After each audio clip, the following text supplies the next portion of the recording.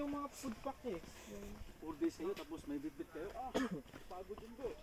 Oo nga, ang sakit sa, ano, sa shoulder. Kaya sana kung bag lang. Mountain bag. ilang liter yung bag niya dati. Sa akin, ano yun. Silente yun. Silente niya. Oh.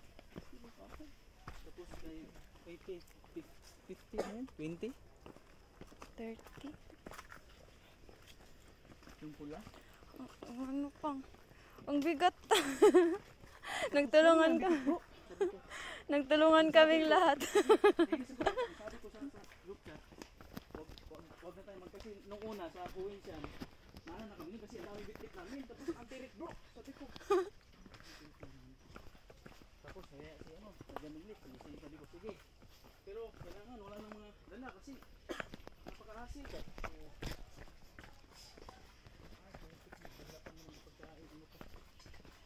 Ilang facing niyo doon? Lakad na kami. ah. Lakad na.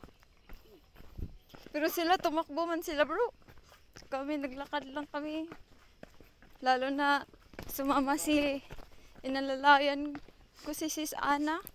na, hospital ospital ngayon. Oh, Oo, na ambulansya tayo yun.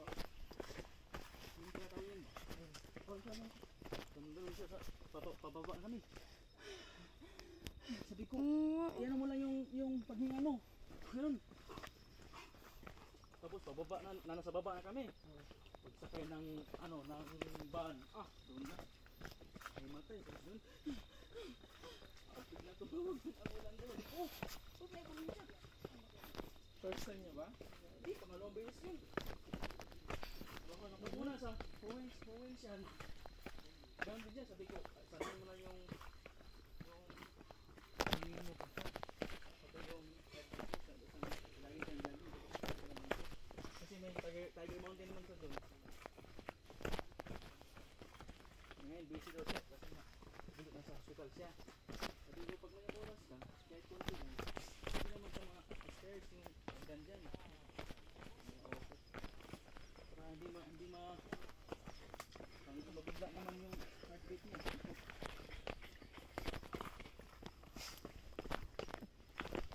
Okay, ano pa ng tayo? Oo.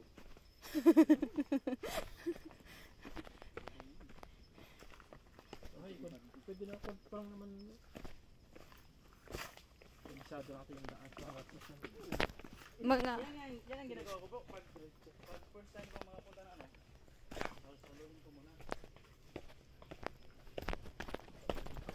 Pati yung dun sa ano nga eh, sinaul ko muna sa araw lang. Yung ano ba, yung kalansi? Diba, Kasama ka ba dun? Hindi. Hindi? Hindi siya nakasama dun. Hindi, oo, hindi. Ha?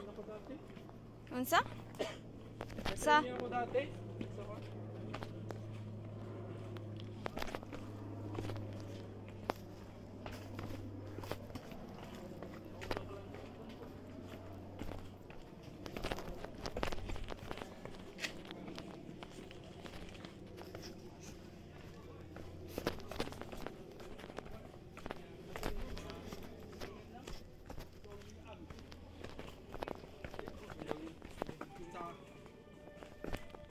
算了，无几爱就五算。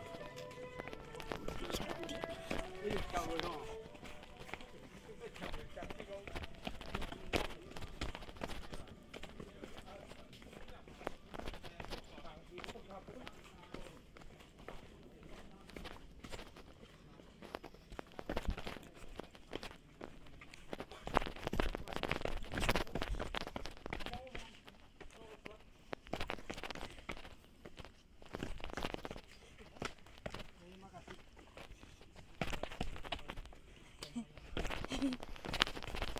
May pupunta dito mamaya.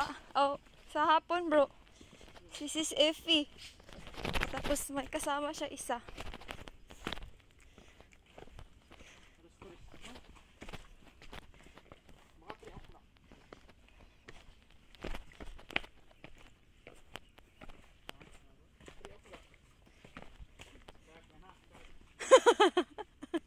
ano pa lang yan? Meet up.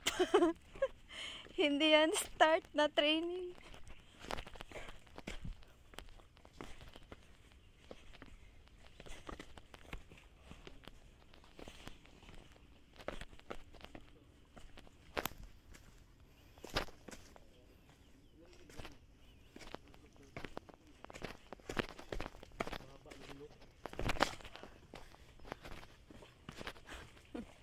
Saga ng tuhod.